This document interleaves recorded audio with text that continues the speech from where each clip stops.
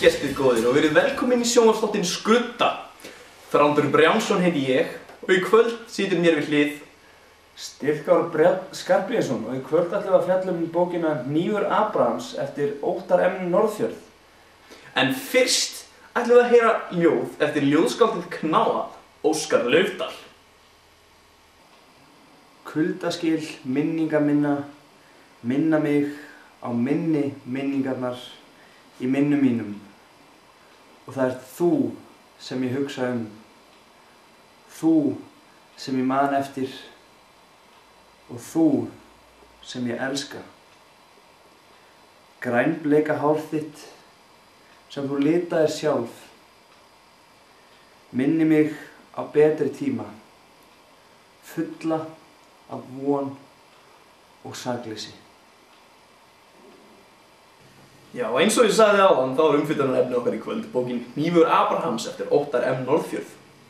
Óttar er ungt skáld en þetta er þó ekki hans fyrsta bók því áður hefur hann gefið út nokkra ljóðabækur og eina skáldsögur sem var skáldsagan Barnagælur sem kom út fyrir árið, kom út fyrir jólinn 2005. Í bókinni Barnagælur var hann undir miklum áhugum í dönda á borðið Bret Easton Ellis sem skrifaði American Psycho og Than Zero en þessari bók er hann, já, undir áhrifum aðalega frá Dan Brown sem skrifaði Da Vinci líkilinn. Uh, bókin er eins og Da Vinci líkilinn, uh, söguleg spennusaga með, hérna, já, sagfræðilegu ívæði.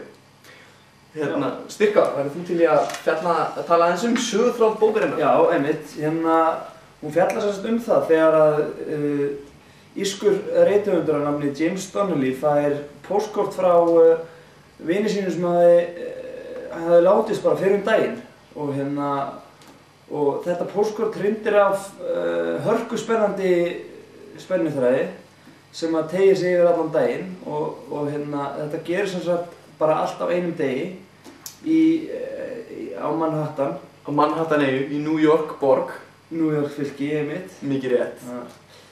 Og hérna, já, það má nú eiginlega ekki segja mikið meira sko ef við ætlaði að lesa bókina því að það má ekki mikið segja sem maður spilli fyrir góðu innihaldi sko. Já, já, svo má ekki hérna, við viljum nú fara aðeins í persónumna. Það er nú þessi prófessor rithöndur, James Donnelly. Já, einmitt. Hann á, hann á sér hérna hálf íslenskan aðstofamann, Adam Swift. Adam Swift að nafni, mikið Já. rétt. Svo er á eftir þeim hérna, hérna, uh, Það eru hérna CIA löglumenn, nei, þeir eru með þess að FBI, æ. FB, Fe- Federal Bureau of Investigation. Þau eru hérna Fatima og, og já. sem sagt spinnast inn í þetta strax á byrjun og eru alveg til enda. Já, já, svo er nú eftir þeim CIA, hérna, útsendari, hann Charles Hogue. Já. Það myndi nú, uh, já, það má segja að hann sé svona ekki óvinnurinn í bókinni, já, þú veist. Já, það, já, það mætti segja þó svo að það, það er kannski hægt að ganga lengra á sig, ekki óvinnurinn í bókinni sé, hvað, bandarísk stjórnvöld og, og, og Já, eða, eða, já, eða einhver, eitthvað afl í bandaríkjum má samt ekki segja Nei, við skulum ekki, við skulum ekki, við skulum ekki ganga of langt í þessari umræðu. Þa, það gæti spilt fyrir, sko. Já, já, við viljum nú ekki eðilegja fyrir ykkur lesendur góðir og Nei. áhörvendur góðir. En hérna, áður en að við förum í að tala um okkar, okkar álít á bókinni, þá ætlar hérna ljóðskáldið Óskar Laufdal að, að fara með eitt ljóð fyrir okkur. Þegar ég sá þig, þá vissi ég að þú yrðir að vera mín. Þú varst með öryggisnælu í eira þínu. Þannig vendaður þú þig frá því að heyra alltaf slæma, alltaf vonda sem ég gerði.